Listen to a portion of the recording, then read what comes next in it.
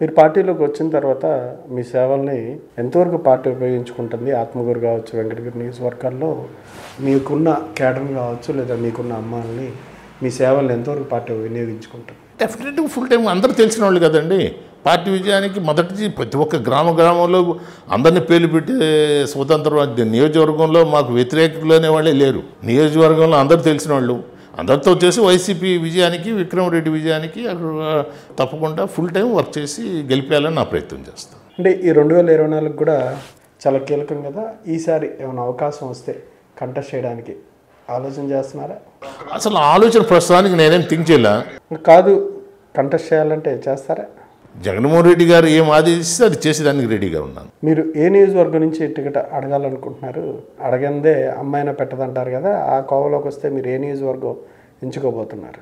ఆ డిస్కషన్ రాలేదు కదండి. నేను ఎక్స్పెక్టింగ్ ఏం లేదని చెప్పినాను. వాళ్ళు ఏదైనా ఆదేశిస్తే అప్పుడు తప్పకుండా అప్పుడు జిల్లా పరిషత్ చైర్మన్ అప్పుడు కూడా మనం అడిగింది కదా. ఆ రోజు రాజమోహన్ రెడ్డి గారు ప్రపోజల్ చేయడం జరిగింది. గౌతము రాజమోహన్ రెడ్డి గారు ఇద్దరు ప్రపోజల్ చేసిన తర్వాత బాస్ దగ్గర చెప్పడం. చెప్పిన తర్వాత నిర్ణయం తీసుకోవడం.